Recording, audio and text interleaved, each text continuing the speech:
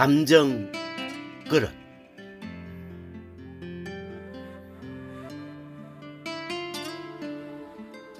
내 탓일까?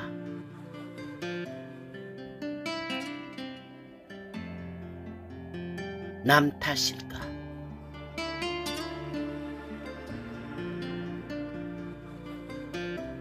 감정의 평행선을 유지할 수 있는 힘.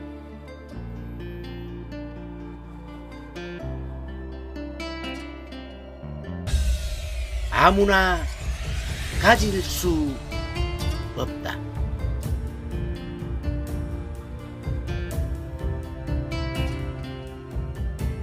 겹겹의 매듭으로 꼬인 삶.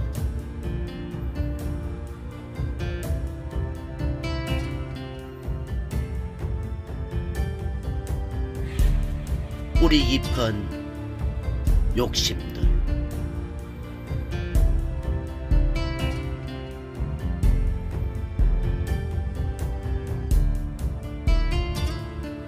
실타래 풀어 헤치는 마음 정리.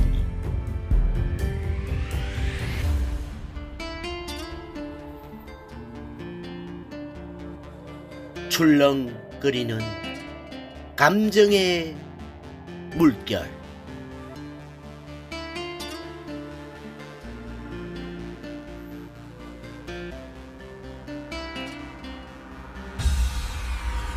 서디선 인고의 시간.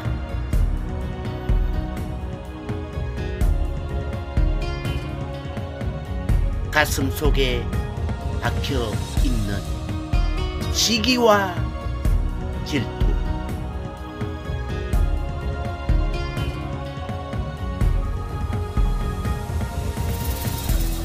나를 살리는 아름다운 목숨.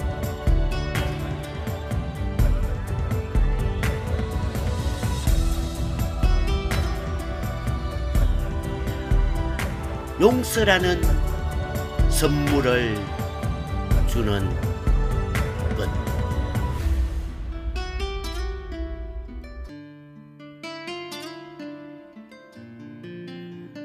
당신의 감정 그릇에 무엇을 담을 것인가?